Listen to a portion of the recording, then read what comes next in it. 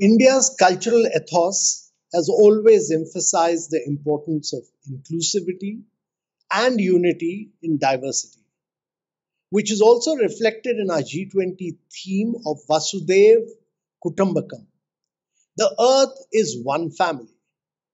This philosophy has been a driving force in fostering India's relations with other nations, as we have always sought to build bridges through cultural exchange and other initiatives.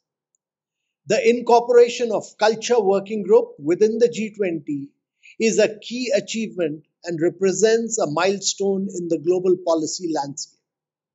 Additionally, culture is recognized as a global public good, placing it at the heart of international policy and cooperation.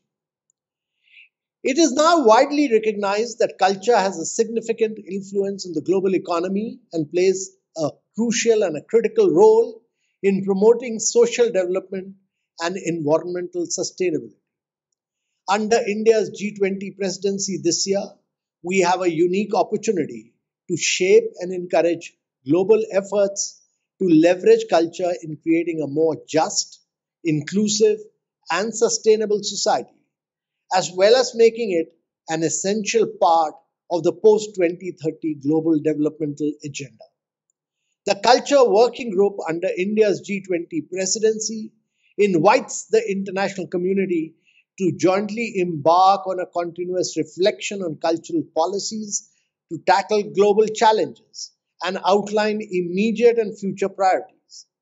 To encourage an inclusive dialogue, the Culture Working Group is organizing four global thematic webinars on each of its priority areas with an aim to capitalize on good practices from an expert driven perspective to obtain tangible outcomes.